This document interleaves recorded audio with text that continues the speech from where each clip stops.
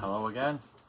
Thank you for watching this. Uh, as you'll notice, lost the beard uh, from last time. Was going to go, uh, so I was trying to do a Bob's Burgers thing for Halloween. I was going to go with the mustache, um, but looking at myself in the mirror um, when I was shaving the other day, I was like, I don't think I can live with the mustache on my face for 15, 16 days until Halloween. Um, I mean, that's no offense to anyone with a mustache, but for me, it just was not working. And also, it's looking too much like my dad. So, oh, there's some issues we can get into if we want.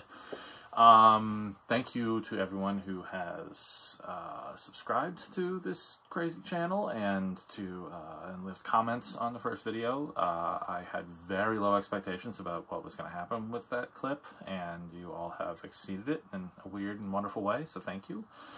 Um, very inspired now to keep moving forward and keep doing videos. Uh, one other addendum, something I left off the last one, is that uh, another vinyl related piece to my life is I do a column every month for Paste Magazine called Record Time, uh, running down new uh, vinyl releases, uh, some new stuff that's come out, and then a lot of reissues, and then a little bit with gear and equipment that I'm sort of dabbling a bit into. So feel free to look into that, pastemagazine.com, if that be your thing. So I thought uh, for this one, just going to run down some of the stuff that I've picked up over the past couple of weeks. Uh, I love watching people do this in their videos, so I thought I would follow uh, suit with that.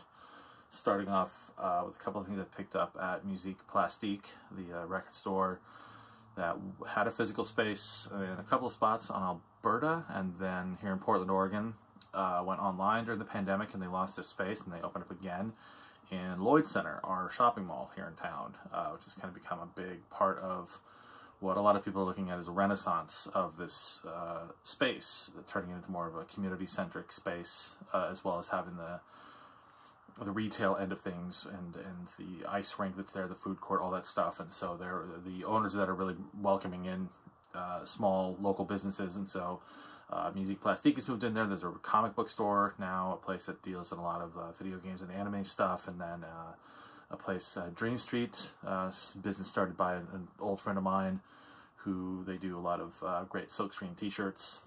so yeah, so if you're ever in Portland, stop by the mall of all places, Lloyd Center. It's kind of amazing right now. but Musique Plastique's always been a favorite of mine, so whenever I'm at the mall for whatever reason, I'll stop in there and generally end up spending some money. Um, and so I started, one thing I got was this, which is um, Françoise Hardy album. I hope I'm saying her name properly. Ah, Suivre. I hope I'm saying that as well. Uh, translates to To Be Continued. Glare from the uh, glare from the outdoors right here. Uh, fantastic uh, pop record. Uh, obviously Japanese pressing. I don't know if you can probably check that. Clock that, I mean. Fantastic pop record from 1981. Um, she was getting into I think the music was getting into more uh, into more of the 80s textures sort of Christopher Cross sounding stuff on here but uh, her voice is unmistakably great.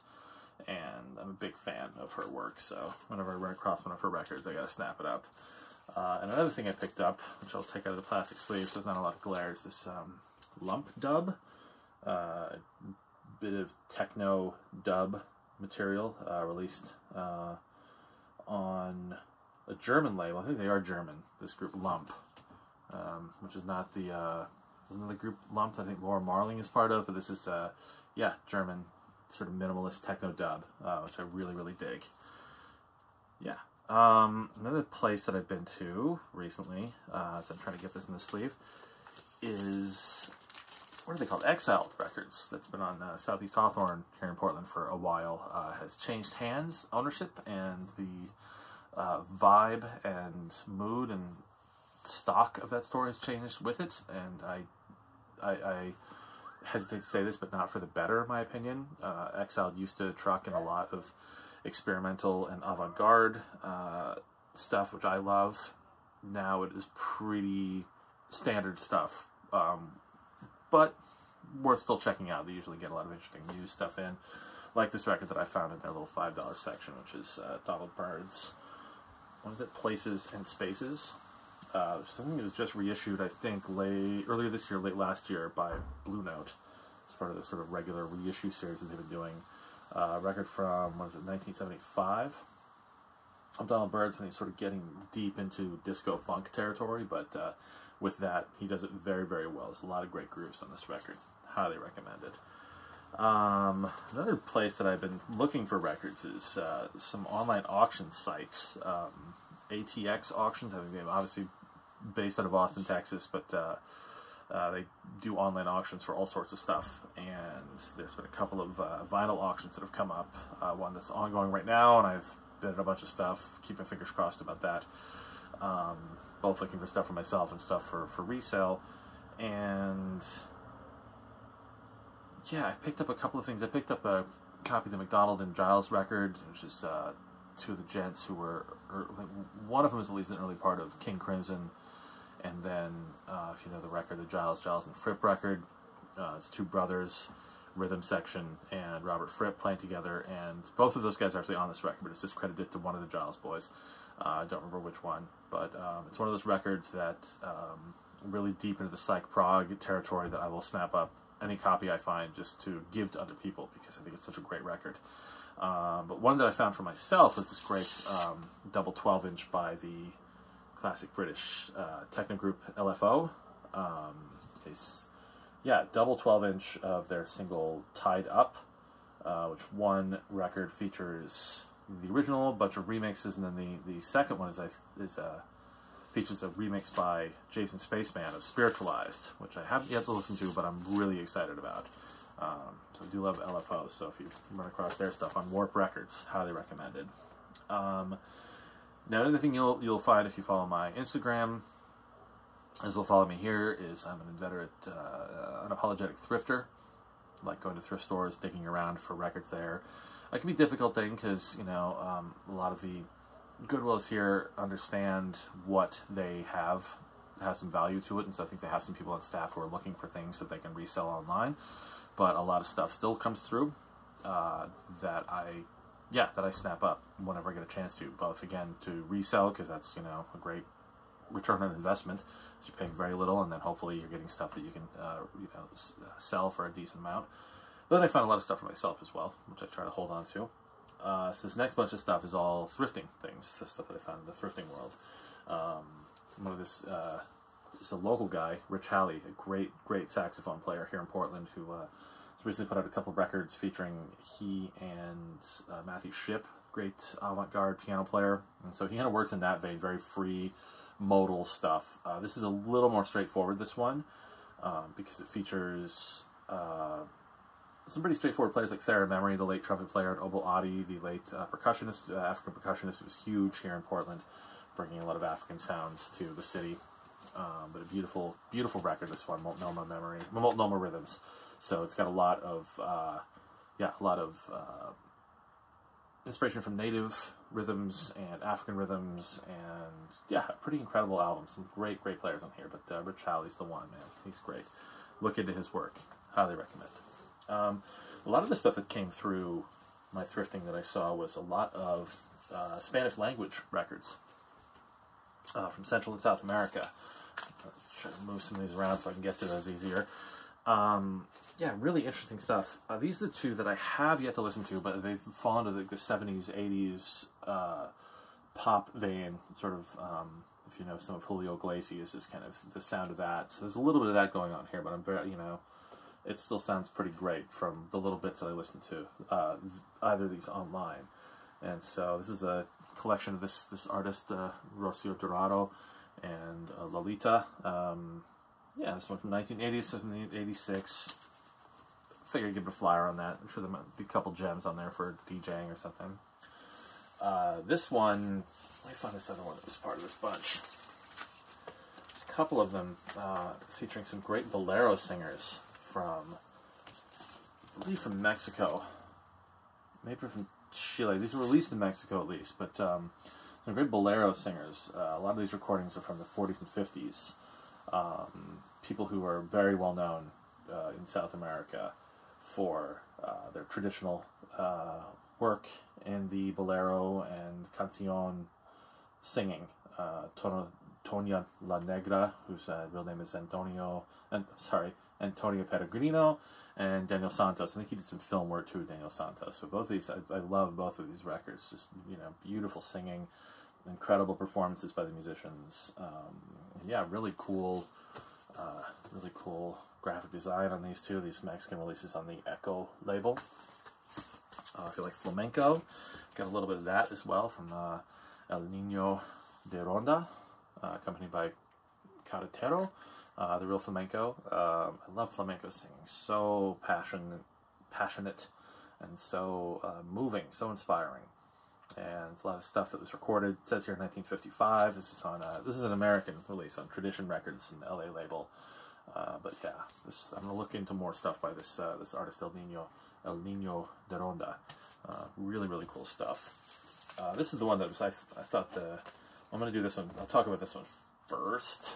This one uh, this is Otra Vez by uh, Los Chalchaleros. I hope I'm saying that right. A group from Argentina, a very traditional Argentinian folk music. A group that was uh, started in 1948, I think went on in various permutations till as recently as 2006, I think, till most of the original members had, had passed on by then. Um, but this is a fantastic record. Oh, so good. Um, yeah, really, really great. This is a wonderful stereo copy of it. And I love this little thing where I wonder if there was someone at RCA uh, in Mexico that had to cross out mono on every copy of this one. Uh, that poor intern they got to do that job. Um, yeah, this their stuff is online. This one I found on Tidal, like streaming. Uh, you should go check this out. This really gorgeous uh, vocal harmonies and really minimalist uh, uh acoustic accompaniment. Um, pretty great stuff. Um, the last one that I got of that bunch that I'm really stoked on is this Cuban uh, folk record by these gentlemen Silvio Rodriguez and Pablo Milanés. Uh, they were the progenitors of this new movement of Nueva Trova. Um, uh, amazing folk music, uh, um, political folk music, um, going against the popular regime there, even though, um, you can see, this little picture Fidel in the midst there. Um, but yeah, this is really fascinating and gorgeous stuff. Just, you know, um, shouting out Angela Davis on a song and uh, Salvador Allende. Um, really, really, yeah, really, really powerful music on here, and a great, um, great trifold sleeve. Um, so the record, it's not like a traditional sleeve where the record just slides into one spot and stays there. So it's this kind of folded out area because you want to see this this great design in the back. Um, yeah, I read a little bit about these guys. Uh, think Silvio Rodriguez is still going strong, even in his 80s. Uh, Pablo Milanés, I don't think he's with us anymore, but really, really beautiful Cuban folk music. Um, yeah, it's, you know, highly recommend this one. You can track something. These guys, I think, have, have a fair amount of stuff online you can listen to, but uh, this is really, really interesting stuff. Um, I need to dig more into, you know, what they were doing for the, uh, the revolution in Cuba. Cuba? Cuba, I'll say that. Um, so here's something I got from an eBay auction. Uh, something I've been wanting for some time. Nice. Uh, don't know if this is original press or this is, might be, yeah, French pressing because it was from a French person I bought this from of uh, the great King Crimson's Starless and Bible Black. I don't know how I stumbled across this. I think it was one of those recommended auctions when I was looking for God knows what other prog record. And I was like, you know what? I don't have Starless and Bible Black. I think I'd like to get this. And the the it was a buy it now situation. It was very very inexpensive for what I was getting. At least it felt that way. Maybe you might disagree. Better half might disagree with me on that. Um, yeah, really gorgeous copy of this record too. Um, beautiful, uh, those wonderful pink rimmed island inner labels there. Uh, everybody loves King Crimson. Who doesn't love King Crimson? This is like the, the last of the, not the last of that. Was it the last of the, the, the sort of classic era of this band? David Cross, John Wetton, Bill Bruford era. I think so, because this is, this is obviously well before the Adrian Belew, Tony Levin era, which I'm slowly learning to love. It's one of those things that I avoided for some time, even though I liked, I like what I hear, but it's like it's like I never want to throw on three of a perfect pair or or or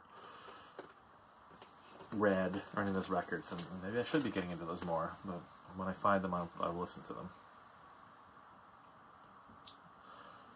Had a friend, so uh, you know, like all of us, we buy stuff on Discogs pretty regularly, and I have my friend who I'm in a uh, record collecting friend, fellow record collector. I'm in a group chat with other fellow record collectors, and he is always looking in Discogs for deals and stuff to buy. And one of the dealers he found uh, had a lot of interesting stuff, and asked me if I was interested, if any of me and my friends want to, you know, get in on this buy he was going to do, and so I, I asked him to grab me a couple things, but with little trepidation because in every one of the descriptions for the records it said something about, you know, this was, you know, these are visually tested. I don't play test them, and this all come from an ex-smoker's home, so be aware there might be some odor involved with it, as as I'm sure you you are already grimacing and wincing about.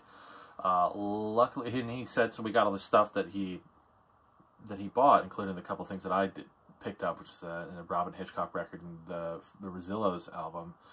Um, and he was like, "Yeah, there's no smell at all. These are all in better condition than I expected." And it was like, "Awesome!" So I had a little windfall of cash from something I bought on Discog, so I went and flipped around to buy some stuff from this guy, and so that's what these next four things are. Uh, things that I do need to clean, especially this first one because there's a bit of there's a healthy little bit of schmutz on this one. This is uh, the Richard and Linda Thompson record, Shoot Out the Lights, uh, classic album of the uh, end of a marriage is what this record really is. It's like they were making this record as things were falling apart between Richard and Linda. This is the last thing they did together, um, which is uh, represented in this sleeve all the torn wallpaper and the, the inner there and on the front, and why they're not in the same room together, even though they're singing together on this record.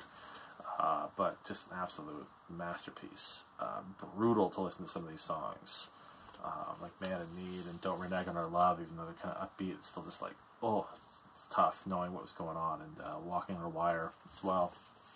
But yeah, there's some, there's something on here. There's a stain of some kind that's gonna come off when I clean it, but I just haven't had a chance to really get this in the spin clean, which you can see behind me. Um, so yeah, I need to do that at some point. Get that cleaned up. Uh, yeah, this dude has more Robyn Hitchcock stuff in the in the in the store, so I grabbed uh, another favorite Robyn Hitchcock record, Element of Light, uh, American pressing of this in Relativity. Um, hopefully you know Robyn Hitchcock, one of the great British singer-songwriters. Um, yeah, really arch sensibility, really psychedelic influenced guy. He's a big fan of he's a big fan of Dylan and Syd Barrett, and sort of combines those two aesthetics into a lot of his work, especially with his band Soft Boys. And this was him with his uh, band, the Egyptians, and Morris Windsor on drums, and the bass player's name Andy, whose name I can never remember, Andy Metcalfe uh, guy who actually went on to play with Squeeze for a stretch. Uh, this has got some, yeah, some of my favorite songs of his on here. If You Were a Priest and Airscape and Raymond Chandler, Raymond Chandler Evening. I think Raymond Chandler Evening is like the first one that really blew me away and kind of got helped me understand what uh, Robyn Hitchcock was all about. So, really happy to have this one. Uh, another one that this might be a buyer beware situation because the condition of this one isn't as great as I was expecting it to be. The Kinks Arthur. Um, that's a record I've been looking to get a hold of for a little while. But, you know, everyone. We could argue about this all day. I think I agree with uh, mighty Tom Scharpling that, you know, everyone seems to point at Village Green as being the high watermark for the Kinks in this era, but this is the one for me. I think this is just stem to stern, uh, uh, filled with great songs, and yeah, und undeniable record. Uh, yeah, the record. Again, the visually grading, I, I took a chance on this one. It wasn't like that expensive, but it was still just like playing it. It was like, oh god, some spots in there that is like really poppy and noisy, and like even at the needle jumped at one point early on. It's like, uh, so probably gonna be upgrading this at some point. But this was the big get for me, which was the first Small Faces record, original um, Decca mono press of this one. Um, so slowly building up my collection of classic British British rock music. Um, yeah, can't deny these guys. look at those, look at those handsome devils on there. was so excited and probably so stoned when they took that picture. But uh, yeah, some of their best stuff on here. Uh, but I love the small faces, love the faces too. But the small faces, Steve Marriott, uh, so incredible as a performer and a vocalist. Though I do remember a little side trip we're going to take here that I do remember a um, almost an argument I got into with someone where it was we were talking about Led Zeppelin and what how I, you know talking about how great they were, and someone was like, "Eh, they're fine, but they would have been so much better if they had gotten Steve Marriott to sing." I was like, maybe is that you know? I mean, you listen to Humble Pie, it's not that far afield, I guess, from some Zeppelin stuff, but you know, yeah, and that's just my brain because you can't you can't pull Robert Robert Plant out of Led Zeppelin. That just doesn't work in my mind. But then again, maybe it's because I'm so used to listening to those four playing together as long as they did. So one couple other things to, to show off. Um, this one being uh, some things as I sell records and whatnot, but I'm also buying some records and whatnot. Um, trying to be cautious about it, but you know, you wouldn't be watching this channel if you weren't also uh, someone that takes that can justify buying records to yourself, even if the money's not there. Um, well, the money's there. You know what I'm saying. You know what I'm saying. It's like, well, you know, I could figure out the money at some point. You know, move some cash around and you know justify paying for this record that I really, really want. Uh, but this one came up in one seller's uh, show a couple weeks back. Um, Salem Mass is the group, though they are. It's called Salem Mass. It's more talking about, uh, as the title of the record says, witch burning. Uh, these guys are from, if I remember correctly, someplace in Idaho, Northwest band. Uh, we're together for a while, and kind of falling into the uh, deep purple Blue Oyster Cult uh, coven style of hard rock with uh, some really great keyboard work on here. Uh, very short-lived group. Uh, this has been reissued a few times. This is not an original pressing of it. This is uh, an unofficial European uh, repress, but something I rarely ever see and something I've been wanting for a little while now. Uh, so again, one of those avenues of collecting. I'm going down to the you know psych prog heavy rock world and trying to find obscurities in that place because you know you can find Emerson Lake and Palmer records, you know, every day and twice on Sunday, but you know, finding a Salem Mass record out in the wild is a rarity. So I'm pretty excited to have this really, really great um, hard rock. Check these guys out. I'm sure there's some stuff on YouTube. I never looked. Uh, see, I think the last thing I wanted to show was something that came through because uh, you know with that column that I was talking about it for Paste, I get uh, promos of records, which is you know an absolute dream. Uh, and Vinyl Me Please has been in touch fairly regularly. Uh, they sent me the Jazz Dispensary releases that they did uh, not too long ago. Uh, sent me things like the Quincy Jones box set, the Grateful Dead Story of the Grateful Dead set, which has been pretty cool. Um, and they sent me uh, a record by I think it was David Porter that is either out now or coming out. But they threw in here, and I don't know if this was this might have been a mistake. I don't know if they meant to send this to me, but I was pretty stoked to you know get this uh, nice double LP reissue of the first Interpol album. Is it on? Turn on the bright lights. I keep wanting to say turn out the bright lights. Uh, yeah, I, this is a band I ignored, I think, for a long time because uh, it kind of fell. This nice red wax. It kind of fell into that post-punk world where it was like, well, I can just hear all your reference points, what you're what you're ripping off here, your Joy Division, your Killing Joke. Um, why would I want to listen to that when I can just grab, you know, what's this for? Or grab Unknown Pleasures off the shelf and listen to that instead. But uh, so you know, but I've come to appreciate them over the years. Um, hearing them on the uh, satellite radio pretty regularly. Um, yeah, so I was pretty excited to get this and, and been listening to it a little bit, and yeah, it's just a solid, solid New York post punk record. Uh, can't can't go wrong with these guys. I think. Uh, I'll start digging into their other stuff, the other records after this, um, a little bit, but it's not a huge priority. But this one's good enough for me for now, and just happy to have this one to you know have in the collection, listen to if I ever feel like it, which I probably will. I don't know. I'm getting into them. I'm starting to enjoy their work. Uh, yeah, I think that's good for now. Um, once again, thank you all for subscribing, for commenting. Um, I know there was some, there was a request, I think, some a comment of a uh, tour of the record room here, which is actually my home office. Um, I'm not quite there yet. We'll see. Uh, one thing I wanted to mention is if you are in Portland or the Northwest area, there's a record show um, on Saturday, which would be Saturday the 22nd, um, October 22nd, called the Record Hawk Show. That's happening, I believe, at the Doubletree by Lloyd Center. Uh, I will have a table there selling some records. So I think after that, if there's uh, between that and the whatnot uh, auction that I've got set for Wednesday, um, once I clear out some of the stuff that's here, because what you can't see below the camera is the boxes and piles of stuff that are down here, and I'd like to keep it that way. And you can kind of get a sense of what things are looking like with this. Uh, I try to figure out my finger here.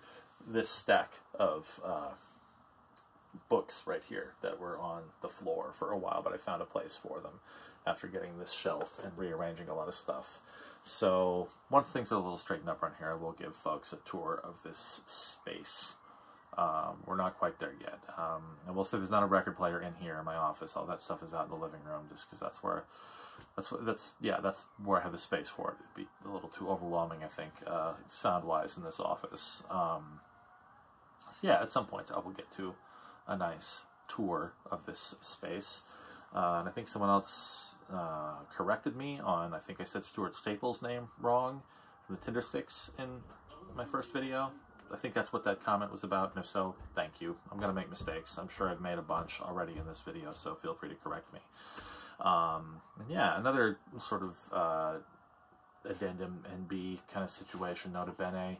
Uh, when I was doing the 30 most valuable records in the collection video, I should have um, did the, the preface that that is just the individual single records. Uh, these box sets that are behind me here, and a lot of the ones that are you can't see up above, those you know obviously trump uh, any of the individual records. A bunch of them trump the individual records as far as value goes, but that's box sets for you. And yeah, there was another comment someone had about you know yes, it's a shame that people are doing these it's a bit of a shame that people are doing these videos based on the median, um, the median value that's on Discogs, rather than I think uh, they were they were uh, suggesting sort of the value of uh, the value of the records based on the last amount it was sold for. Which maybe there's a way to search for that in Discogs. I don't know, but uh, yeah, that's a good point. Um, it's a it's an un, uh, unscientific system. Maybe that's the word I'm looking for. Uh, yeah, it's it's probably not the best way to mark out the value of this because, like I said in the video, some of the sleeves and the conditions of those records weren't gonna you know, weren't gonna cut the mustard, and I wouldn't get the medium price anyway for them. But whatever, it was supposed to be a fun video anyway, so we can pick nits all we want about that. So yeah, that's all I got for now. I will try to do one of these next week, likely with the stuff that I snagged at the Record Hawk show. Uh, so again, uh, the Record Hawk Show, I will be there. If you are in Portland, stop by Crossroads Records on Foster or Memory Dam in Southeast 2nd, where I've got tables. Look for the code RHA. You can also find me on Whatnot, where I'm trying to do uh, auctions auctions every Wednesday around noon Pacific time. Uh, the next one that'll be coming up uh, this coming Wednesday on the 19th is going to be an all Kate Bush auction. If you're looking for Kate Bush records or collect collectible records, I've got a bunch uh, from an estate that I purchased a while back. Um, came with a ton of Kate Bush records, a bunch that I've kept for myself to fill out my the holes in my collection, but a lot of them, uh, yeah, I just have sitting around here, so I'm going to see about reselling them. There's some great colored variants and uh, bootleg in there, some singles, yeah, some really neat stuff. So look for Robert Ham on Whatnot, and yeah, read my stuff when you find it on Paste, like I said. I do the monthly thing, uh, monthly column called Record Time about vinyl that comes out on the last weekday of every month. And yeah, that's about it. Thank you all for watching, commenting, subscribing. Y'all are great. It's fun to be part of this community. And yeah, we'll uh, be back again next week. Thanks.